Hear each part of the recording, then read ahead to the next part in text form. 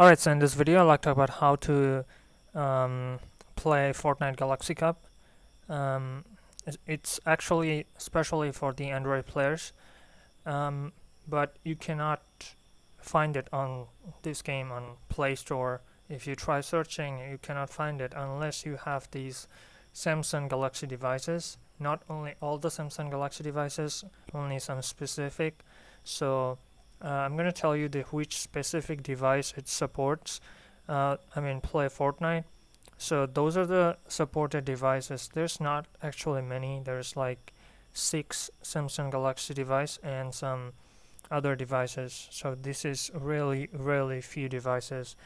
And um, and this game only Android user can play so this is if you're like if you're like a computer PC player you, you, you aren't able to play it. So that's what I understand by reading this. Um, yeah. So um, so if you want to join these uh, Fortnite Galaxy Cup uh, you you must own one of these devices.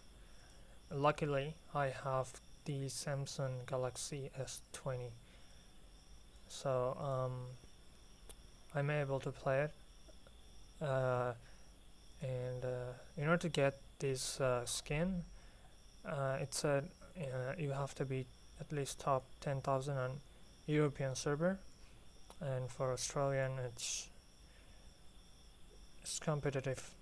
But again this is uh, Android phone so I'm sure it's not gonna be that difficult to play with but uh, yeah.